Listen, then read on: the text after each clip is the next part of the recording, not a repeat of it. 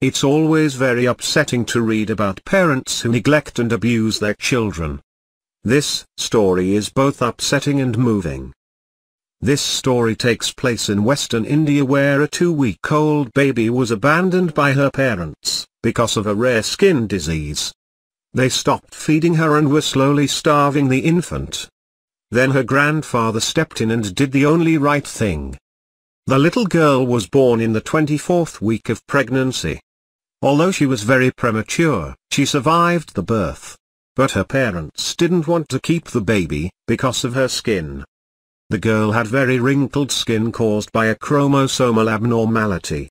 According to the girl's grandfather, Dilip Dodi, the parents were so ashamed that they chose to abandon her, at just two weeks old. People close to the family didn't react well when they saw the baby. Unfortunately, the vast majority said terrible things about the little girl.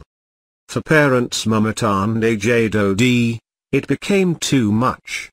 They couldn't handle the fact that their daughter looked different. So they did the unthinkable. They stopped feeding her. Her life was placed in serious danger. Her grandfather Dilip tried to talk the parents out of it again and again, but with no success. It is not her fault to have born different and I will not abandon her for this disease.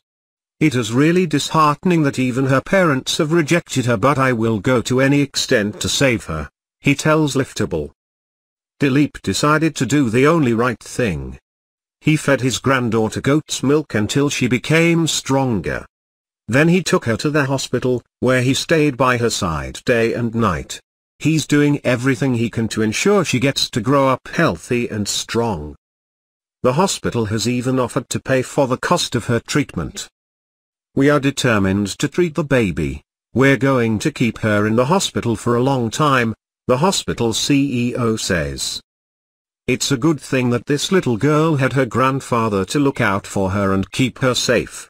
But sadly this isn't the only time that parents have abandoned their children, and it normally doesn't have a happy ending. This just shouldn't happen, no matter what the circumstances. Share this article on Facebook if you agree.